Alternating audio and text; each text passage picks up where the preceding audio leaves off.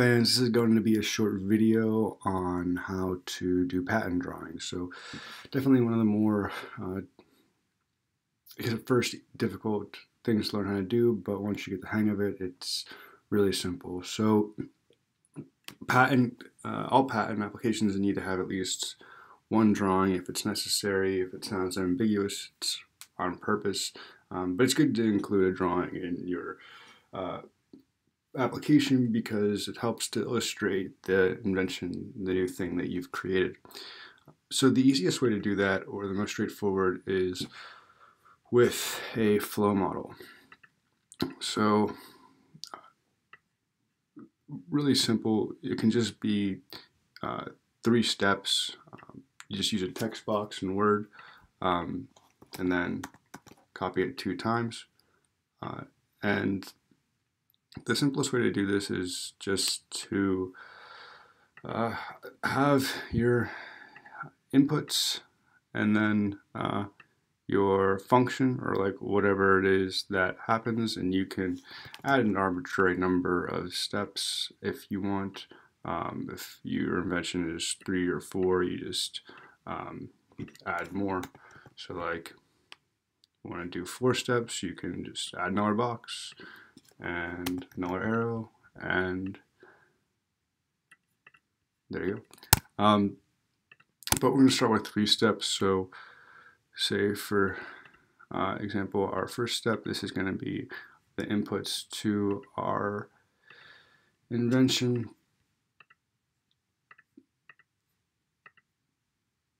So if you know we're doing our time machine, we'll say a two-stage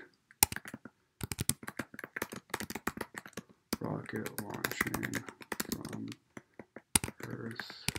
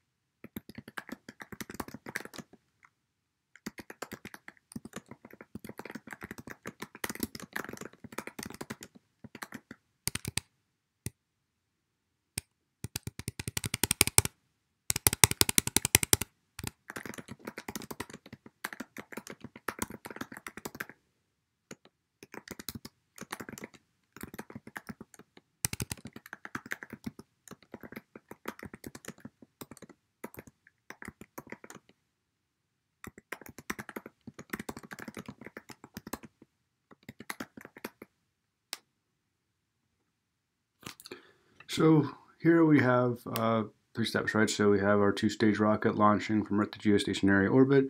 We have our uh, rocket arriving at geostationary orbit. The stages separate. The second stage has an engine that ignites. Um, and then we have our output. So our second stage traveling toward the speed of light through a wormhole in space-time.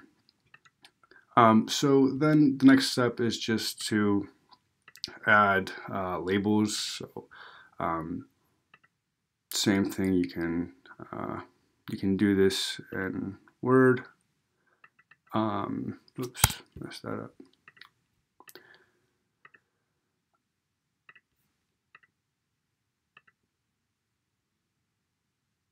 So you just make little uh, little swishies. Oops, mess it up again.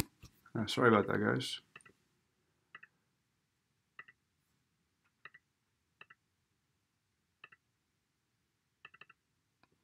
There we go. Um, so just making little uh, swishy symbols and um, then you gotta add the uh, numbers to the uh, labels so that you can describe the uh, boxes in your uh, detailed description. So Uh, there's really no rules for how you number them, um, but uh, I just like to make. So if it's a figure one, I do 100. If it's a figure two, I start with 200, and then uh, going from there,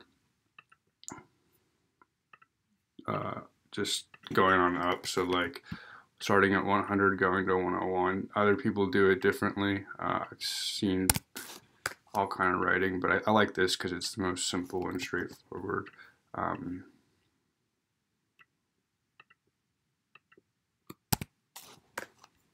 so there you go. That's how you do patent drawings. Thanks for watching, fans, and have a great day.